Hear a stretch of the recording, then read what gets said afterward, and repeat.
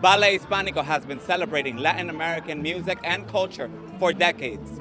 Today, they bring those ideals to the streets. Hispanic Heritage Month is a time to celebrate Latino heritage and culture. Ballet Hispanico was all about these festivities with their first ever A la Calle block party.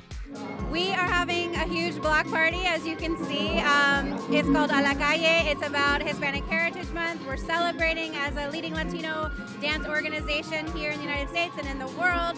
For decades, Ballet Hispanico has represented Latinos in the community and around the world, something Ballet Hispanico's artistic director hoped to accomplish with this festival. You don't just start a, a party and a good party because folks will be like, uh-uh, ¿dónde está la fiesta?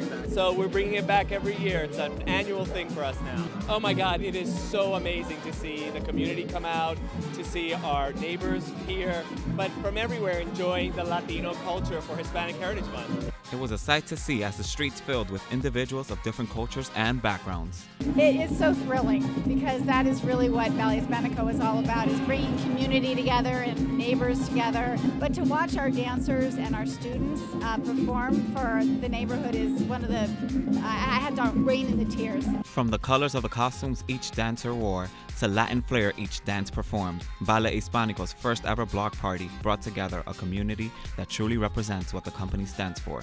This is Hector Guzman, BronxNet.